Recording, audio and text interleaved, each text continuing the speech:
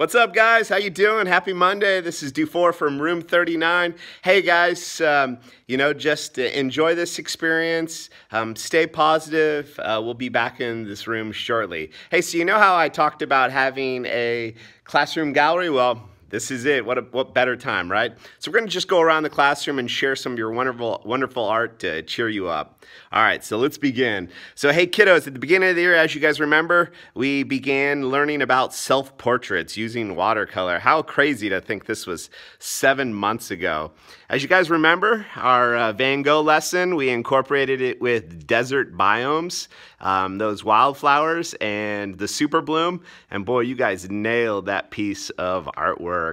Um, we were really lucky this last month to have Miss Millie come in and she taught us about tertiary colors. We have been experiencing or experimenting with uh, the primary colors, but she took it one step further and talked about blending two primary colors and creating tertiary colors. And you guys once again rocked that. Uh, we had some fun with different polygons and geometric shapes, and you guys uh, had some opportunity to use some um, hands-on tools and create a variety of objects with polygons. Guys remember our Dali, Salvador Dali artist study um, with watercolor and really uh, practicing elongating those those legs. He had an amazing style.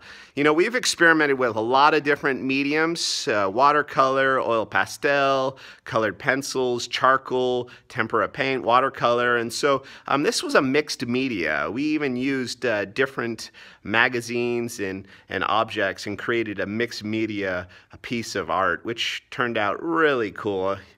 One of the first lessons we did, we learned about George Seurat. I'm a big fan of Seurat um, and his pointillism. So take a look. All those little dots come together and make a really neat masterpiece.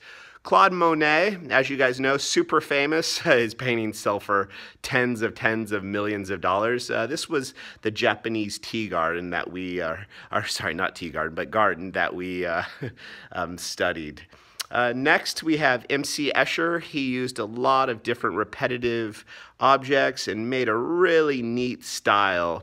Um, you guys obviously are fans of uh, Pixar, and so we uh, learned about the history of Pixar and um, used some tutorials on YouTube to create uh, that style. Um, this is an artist um, known as Mondrian, uh, Piet, Piet Mondrian, um, and he used a lot of different rectangular shapes um, and squares. Um, as you guys know, he came from New York, and so um, these cities, the blocks of cities, kind of inspired him to do this. Who doesn't love Jackson? Jackson Pollock, man, uh, we had a blast. We went outside, uh, made a mess, uh, flicking, splattering, dripping paint. And as you can see, um, these turned out amazing. This is something I'll remember with you guys outside. Jackson Pollock. Some of you guys' shirts uh, ended up uh, looking just like the masterpieces. Um, once again, Miss Millie came in uh, four times throughout um, this last month, and we used oil pastel on black black um, construction paper. The, the colors came out amazing. Look how amazing these are. Oil pastel on black construction paper. And you know, if you guys uh, have some time uh, over these next few weeks, ask mom and dad to jump on Amazon, maybe get a, a set of oil pastel. It's pretty cheap. Get some black construction paper and have fun.